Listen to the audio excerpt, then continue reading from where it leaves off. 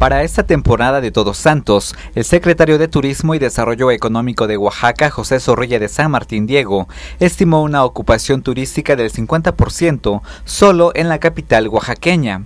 A nivel estatal puntualizó que se pasó del 38% de ocupación antes de iniciar la presente administración, se pasó de este punto al 44% del año pasado y se espera superar esta cifra al finalizar el 2014. Cifras que dijo para el empresario hotelero representan mucho. Tenía un 38% de ocupación al inicio de esta administración. La ciudad de Oaxaca no cerró el año anterior al 44%. Yo creo que los números indican que este año estaremos alrededor del 44-45%, que para quien sabe de turismo y teniendo datos y cifras reales, hablar de un incremento de 6 o 7 puntos es muy bueno.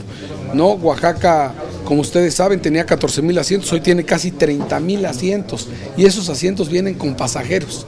Desde la Ciudad de México había 9 mil asientos y hoy tenemos casi 23 mil asientos. Tan solo en Huatulco se obtuvo un promedio de ocupación del 51% en el 2013 y en Puerto Escondido del 34%, que gracias a la conectividad aérea y terrestre del 2015 podrán incrementarse más estas cifras. Las temporadas en Oaxaca son muy cíclicas, ¿no? Cíclicas, históricamente han sido así. Septiembre puedes tener ocupaciones de menos del 40%, 30 y tantos por ciento, pero siempre ha sido así. Creo que este año vamos a estar cerrando alrededor del 44%. El año pasado ustedes me lo preguntaron. antes de julio.